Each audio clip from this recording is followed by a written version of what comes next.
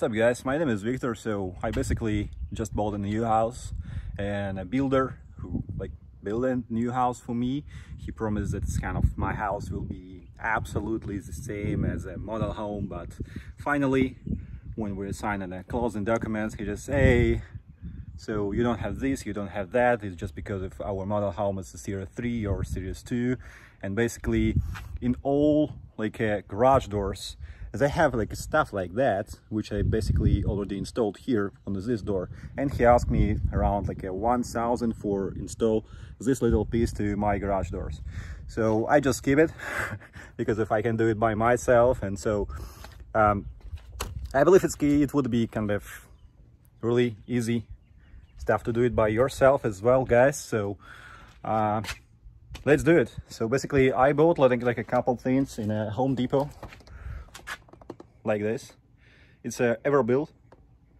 It's an Everbilt company, so they provide absolutely the same stuff as your builder trying to put in your garage door. So if they try to charge you, just skip it and install it by yourself. So let's go. On the one complex, so basically each complex it's uh, 48.99 in a Home Depot. So basically let's open and look at the, the inside of the complex. So as I mentioned to you, one complex I already installed for this garage door and uh, I am basically installed like pretty easy, just using my uh, electric screwdriver. But here as, as I'm kind of uh, not satisfied with the size over like bolts here because of see they provide some kind of uh, protection stuff or do not allow you to scratch but they're like pretty small and I believe that's kind of mostly complex for wood garage door or garage door with like more, you know, like thick walls. I will use in, uh, my metal saw to cut it a bit and put this white stuff back again. So basically, let's take a look what's kind of included in a complex. So it's a uh, four this beautiful metal planks and basically two handles.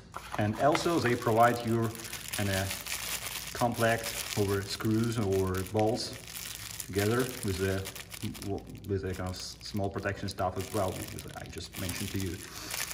But what I find out here, so basically these two long bolts, four basically long bolts, they're, I believe so, they're for wood door or for something like this, because if my garage door is pretty thin and uh, if you in install it, so you just need to cut your bolt like this via your metal. So, so I will use just kind of regular bolts.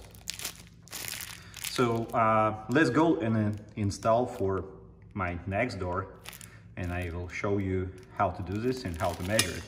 Or install it correctly, I will try to show you how to install in my neighbor's garage door. So they allow me to come in and uh, take a look what's, what's going on there and how they're kind of, how builder install it basically. And here I found like uh, one significant issue basically. I will take a look. So basically uh, for my neighbor builder install this you know really really plate without texture metal stuff on it. And see here is, is kind of a lot of space.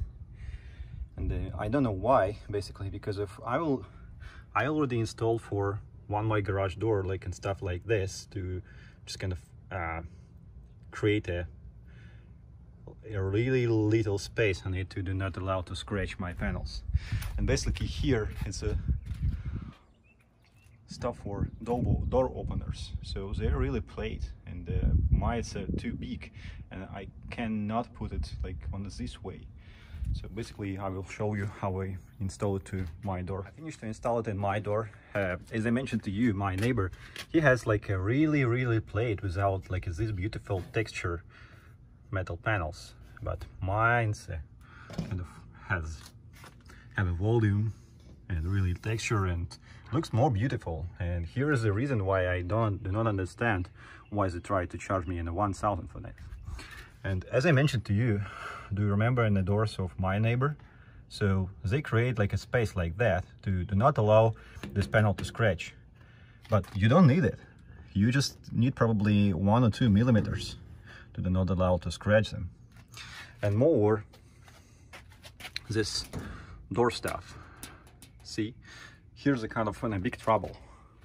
Because if they are pretty big and you cannot put it for this place. Because if you will put it in this place they will be kind of uh, a bit out of this rectangle and looks ugly. So it's up to you guys but I prefer to install it like this uh, to put kind of more more distance between them it still looks good but you know it's kind of it looks like in a place. So my door will be different from my neighbors. Uh, I I hope my HOA will not push me or send me some message to hey then uninstall this stuff from your door. I, I believe no but so from my perspective it looks good. So I will install for this door as well so I installed on this way. So see here, it's kind of the last, like the top panel, the last panel. And here is a kind of a little swap here, a little space. So I just kind of install this panel in the between, in the middle, to show kind of this error in the center of this stuff. Of course, I will a bit like mm, have it more even and created one or two millimeters between a wall and my metal plank. So basically that's it. Then I will use my screwdriver to fix it and that's it. Let's go. So basically I spent around like a couple minutes to just fix it on my door. So see, it's kind of in an error in the center and over here error is on the center. So I use it as a kind of measurement stuff so it looks good. Let's switch for in the bottom one. So in the bottom one I will find the same stuff as on the top. And we'll fix it here and put it here to metal planks. So let's go. So I install on the bottom ones it looks already looks pretty. Already looks pretty. And right now we will install two door handles. So as I mentioned to you so it's no like enough space to put it over here. Because if I'll put it over here so it would be a bit out of and I, I just don't like it. So I decided to put it this way to use these kind of frames as a pattern to put it on the right way. So in a bit in the middle of this space. So I will fix it and then we'll show you how it looks like. So I installed one of them and right now we'll install another one and we'll show you the whole picture of both of my garage doors. And uh, after a minute I installed both of them.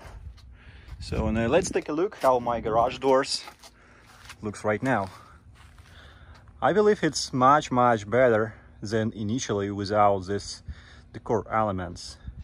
So total I save around 800 bucks. No wait, basically 900 bucks because if builder tried to charge me 1000 for both doors for more cheap decorate elements.